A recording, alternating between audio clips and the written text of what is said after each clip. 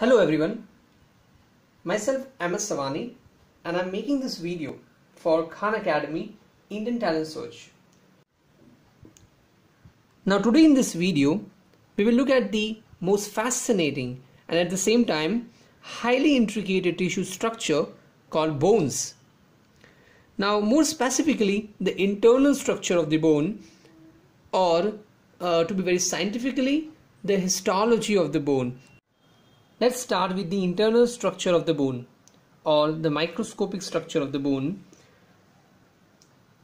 Now here, we, uh, here you can see that I have taken the longitudinal section of the long bone. Now any long bone um, has a distinct regions. Now the ends of the long bones are called epiphyses. The above one is called the proximal epiphysis and the below one is the distal epiphysis. Now the central part of the bone or the shaft of the bone is called diaphysis now the region that connects the diaphysis with the epiphysis is called metaphysis. Now at the interior of the bone, in the interior of the long bone is the hollow cavity called the medullary cavity or a marrow cavity. Now it fills with bone marrow. Now enclosing this marrow cavity, there are two major bone tissues. The outer one is the compact bone or the cortical bone and the inner one inner one is the spongy bone or the trabecular bone also called the can uh, cancellous bone. Now the entire bone entire bone except except um, this articulating surface except this articulating surface of the bone this and this the whole bone is wrapped or enclosed or surrounded by a sheath or a membrane called periosteum. Membrane called periosteum. Now, bone consists of three things bone cells, protein, and mineral. Now, this protein and mineral will form the bony matrix. Now matrix is the extracellular substance or extracellular material that is present outside the cells. Now this protein will form the organic part of the bony matrix and the mineral will form the inorganic part of the bony matrix. Now organic part of the bony matrix is also called osteoid osteoid and the abundant protein in the organic part of the matrix or the osteoid abundant protein is the collagen.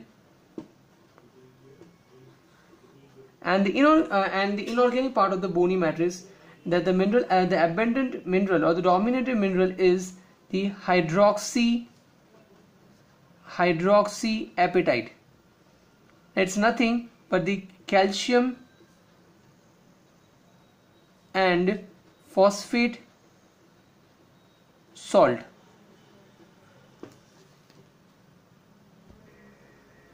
Now there are four types of bone cells.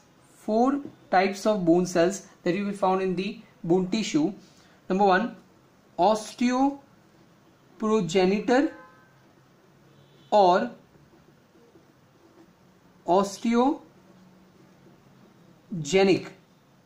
the second one is osteoblast. And the third one is osteocyte.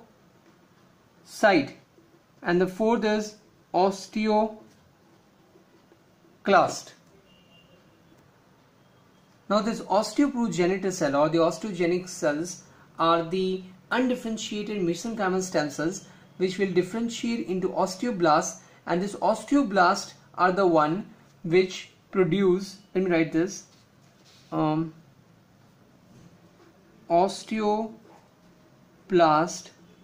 are the one which produce produce osteoid. Hmm. the organic part of the bony matrix.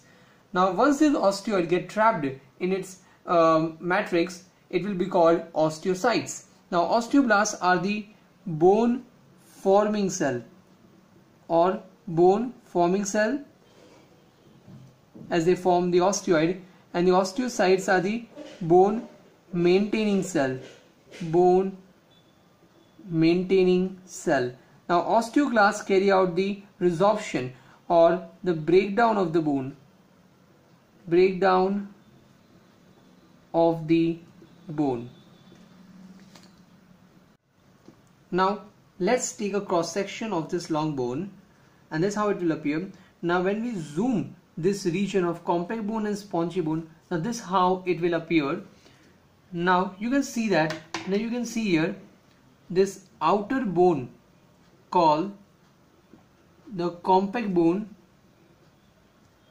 compact bone or the corticular bone and this uh, interior one. You can see this. It projects into the 3d lattice work um, structures called the trabeculae and this is the spongy bone. Spongy bone. Now here you can see this uh, can you see this uh, this yeah spherical oval shape uh, cellular structure. These are the osteocytes osteocytes now these are the now basically the this is the compact bone. Now this is whole is compact bone. This is the uh, spongy bone. Now this compact bone um, microscopically you can see this uh, this are the cylindrical unit which are the functional unit which lie along the long axis of the bone. Now these are called the Haversian system or the osteons now when you pull one of this out now this how it will appear. Now this is the osteon or the Haversian system or the Haversian Haversian system. At the center of this osteon, uh, there is a hollow cavity which is called which is called the central Haversian canal. Now enclosing this central Haversian canals, you can see now this is the central Haversian canal. Now th uh, now this also this is the central Haversian canal. Now enclosing or surrounding this central Haversian canal are the concentric lamellae. Now concentric lamellae is actually the bony matrix which is arranged or oriented in a lamellae layer like structure parallel layer like structure. Now these are the concentric lamellae now you can also see this this um, uh, kind of layer which is at this uh, covering this circumferential.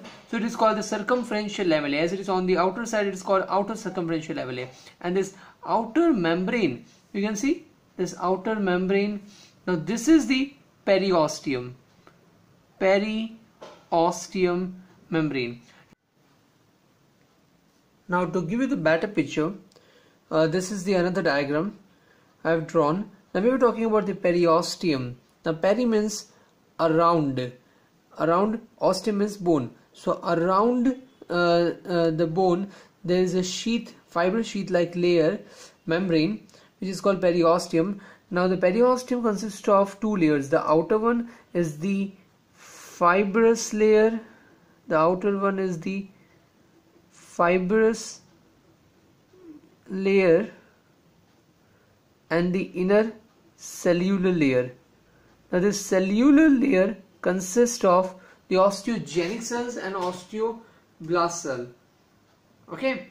Now some of the things which I uh, was unable to mention is there's the spongy bone. Now you can see this the inner bone, the spongy bone. Now this spongy bone uh, unit called trabeculae. Now they are projecting uh, into the they are projecting into the marrow cavity as a 3D lattice work uh, structures. Now these are called the trabeculae and some of the things like the perforating yeah transverse perforating canal the Volkmann canals.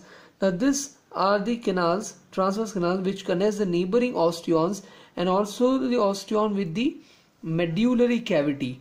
So the transverse perforating uh, perforating canals are the ones which connects the neighboring osteons the adjacent osteons and also osteon with the medullary cavity. So that's it.